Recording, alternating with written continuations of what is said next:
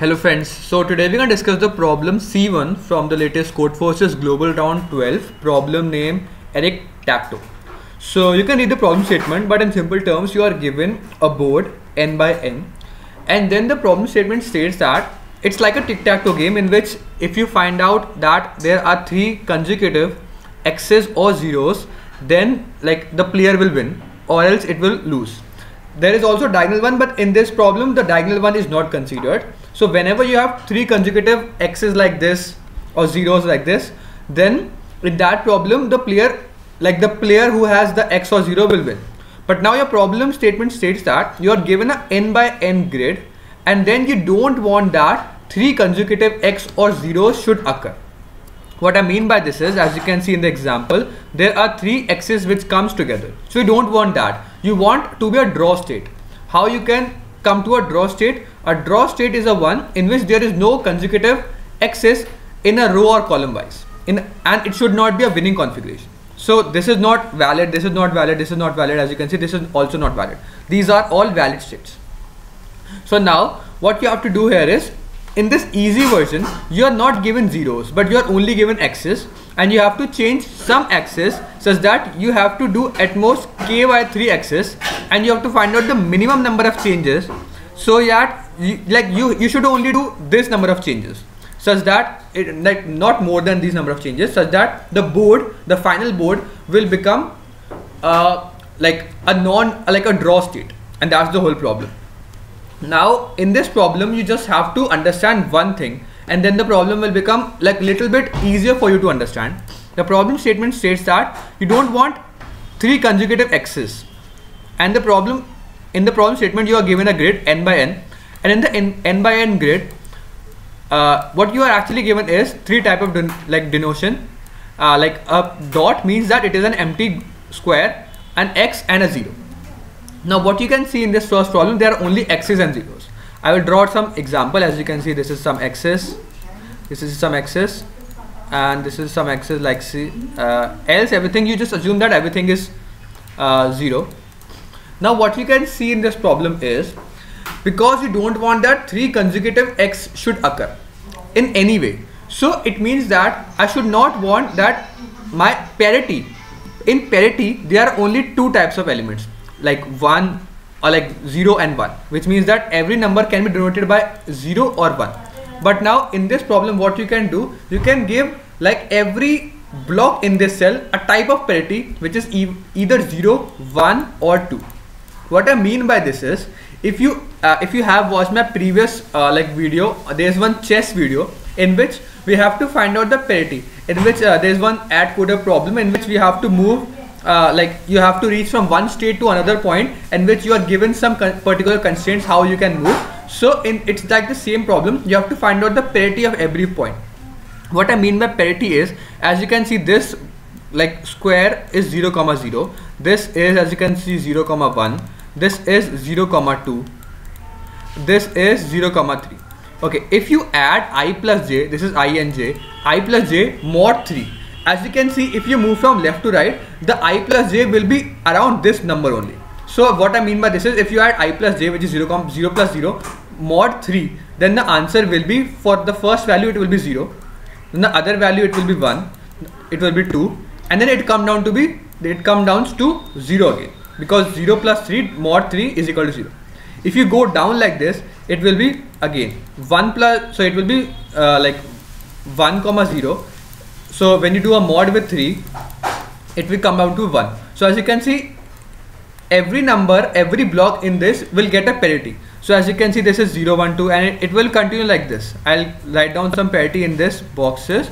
So as you can see, now you can, now as you can see, every three numbers, consecutive numbers, have the number which is like 0, 1, 2, 0, 1, 2. Every three numbers has the numbers which, which are either in the row wise or column wise, they have the numbers 0, 1, 2, 0, 1, 2 and what you want is that any number which has the same parity. So you can count out how many numbers has the same parity. Same parity means that so uh, if you can see that x has x occurs on the zeroth position. Zeroth means that the parity of zero how like as you can see this is zero this is zero this is zero. And so as you can see that this is the parity for all these numbers. If x occur on these numbers we can count out that okay this forms one uh, like valid uh, like sequence which is at all the three x's we don't want that. Uh, as you can see this will also form valid number. So what you can easily do in this problem is you can easily find out how many numbers are there on each of these parities. How many x's are there on each of these parities. You can count out that 0 1 and 2 how many x's are there on the parity 0 as you can see this one this one this one and so on and similarly for like you cannot count this because there is no x on this parity but you will count on for this and for this. So you can find out the parity like count of parities of x find out on all of these values. And then how will that be helpful? You can just take the minimum of that number. That minimum number will tell you that okay see i know that all of these numbers like if i know the parity of these numbers as you can see these numbers will form the parity uh, like this will form consecutive x's if I just remove one of them, only one of them, then my board will become balanced. So I should only remove the one which is the minimum of them because see I know all the values in this uh, like grid.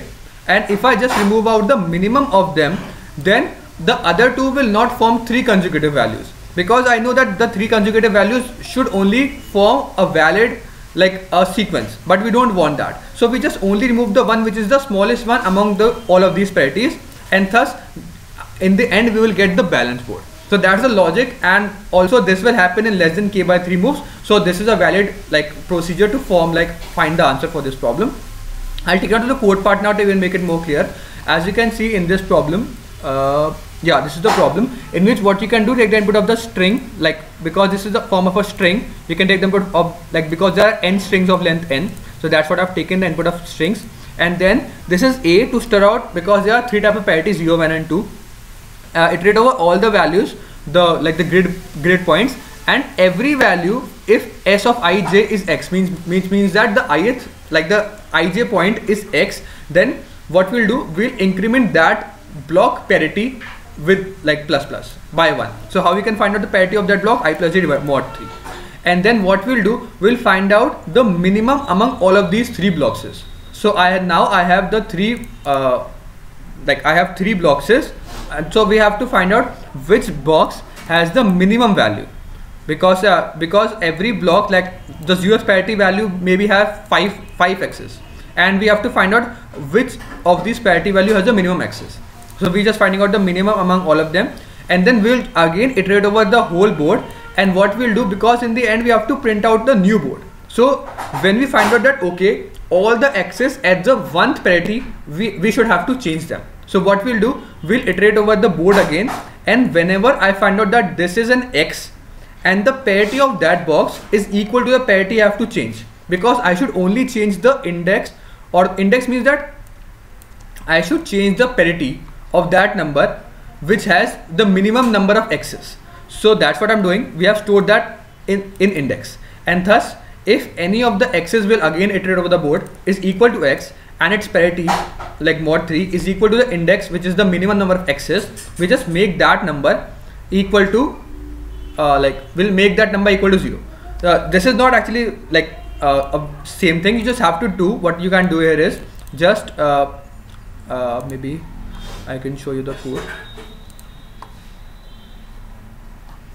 Yeah so what you can easily do in this problem is just change this this to 0 actually I've done this but you just s of ij is equal to 0 and thus return out all the whole matrix. And that's the logic for this problem. I hope you get the intuition for this problem. I'll push the like put the D problem next. And then if I understand the C2 problem I will also make a video on this because C1 problem is very simple. Uh, like uh, because you have to understand this logic. And if I understand the C2 logic then I will also make a video on that. But I will upload the problem for D also. So stay tuned. I'll see you in the next one. Keep coding. Bye